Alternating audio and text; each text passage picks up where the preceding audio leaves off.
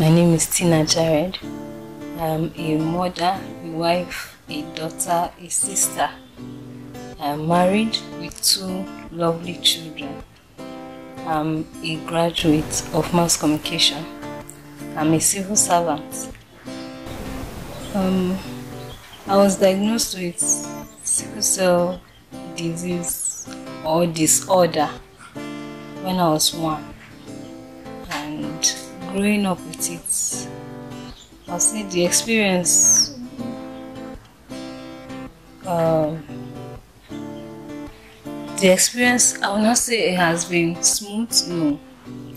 There are rough days also. Uh, I was not normally we sickle cell um, patients are considered to be fragile. Um, we can't do anything. But then my mom did not raise me like that. I I I did house chores like other children would do. You know. I attended boarding school. You'll be surprised. I attended boarding school, and there the life there too was something else. The experience, let's say, has been let's say okay, okay. You know, I tend to keep to myself. Growing up, I tend to keep to myself because of the disorder I had. But then, when I knew that um, the sickness was not, or the dis- disease was not,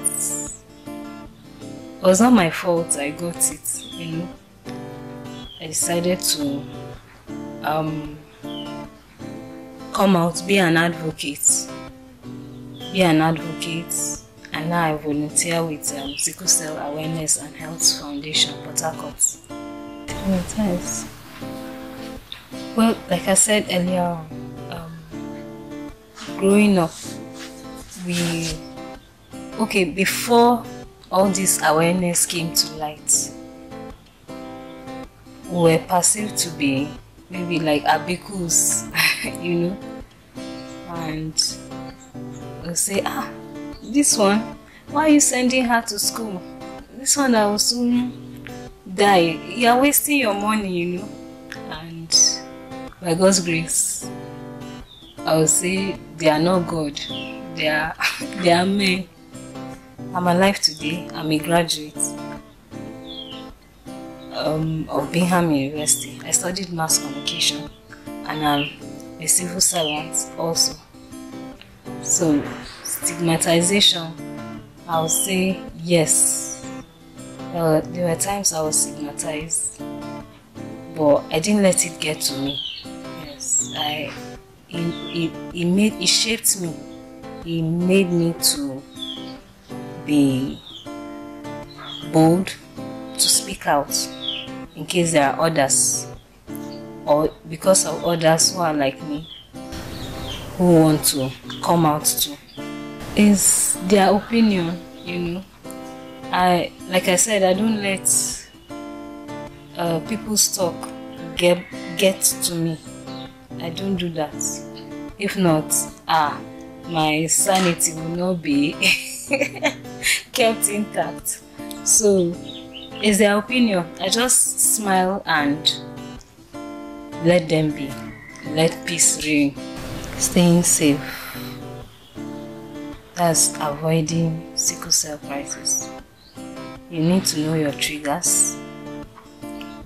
We have, um,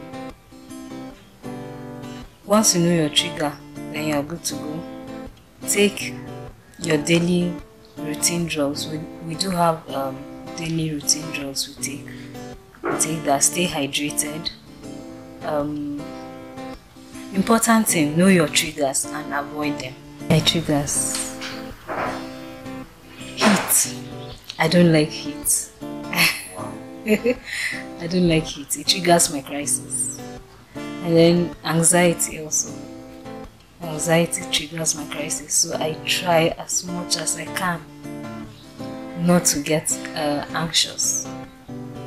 Um, well, I try my possible best to drink water, plenty water. well, I always advise try and take like three liters a day or even more.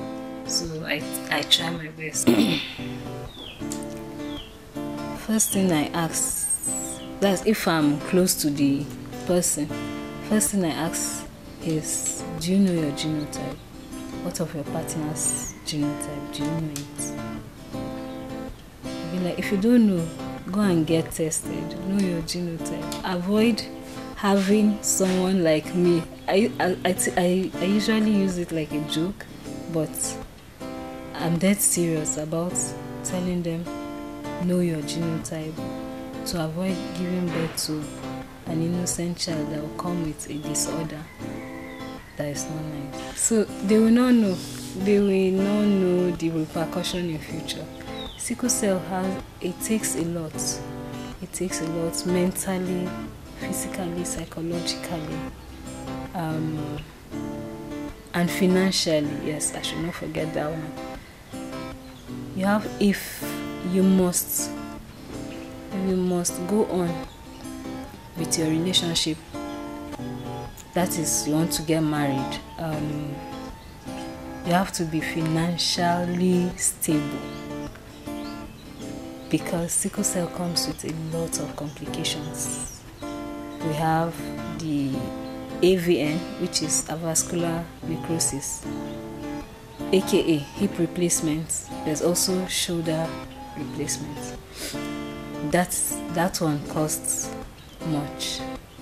Um, we have bone crisis bone pain crisis. We have um, stroke. Yes. Especially when the child is a baby. Uh, stroke uh, they are prone to having stroke at early age. Um, well those are the ones i can remember for now but there are lots of complications that come with sickle cell. And if you must go ahead as an as as couple you have to be financially stable physically stable mentally stable everything. Um we're always advised to know our triggers, to drink a lot of water, you know, stay hydrated. That's the word. Stay hydrated, know our triggers, eat a balanced diet, and um, know your triggers so, so as to avoid um, crisis. To avoid crisis, so just know your trigger basically advice whatever you want to achieve whatever you want to achieve you can achieve it. There are lots of sickle cell um, warriors out there who are what they want to be. We have sickle cell but sickle cell does not have us. So we are limitless. We can achieve whatever we want to do whatever we put our minds to do. So let's not limit ourselves to the sickle cell disease. To eradicate um, sickle cell in Nigeria and the world at large, I encourage you, I urge you to know your genotype, particularly intending couples. Know your genotype, Don't just go go for one testing in three different labs to be sure of your genotype. That way, will be sickle cell free. My name is Jared, Jared Daniel, and um, it has been an ex- quite an experience because um, sometimes it's not what you actually wish for or plan. But um, this is the point it occurs to me to believe love is stronger than any other thing. And but the the, the watchword for me is the fact that I am AA and she is SS. So that was a goal. And I see her as a human being who has one or two challenges. I don't see her as different from any other person because she's SS.